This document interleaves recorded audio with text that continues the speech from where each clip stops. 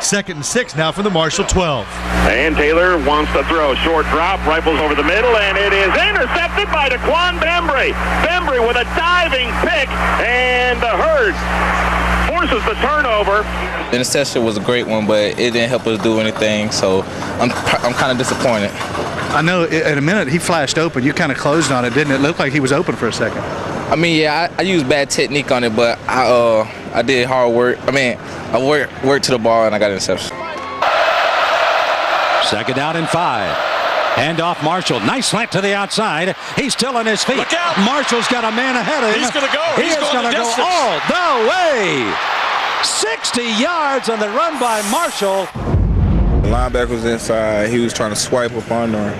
And the free safety was all the way on the backside over the top. And uh, the receivers just did a good job at uh, cut, cutting the DBs, and I seen him laying, and I just hit it.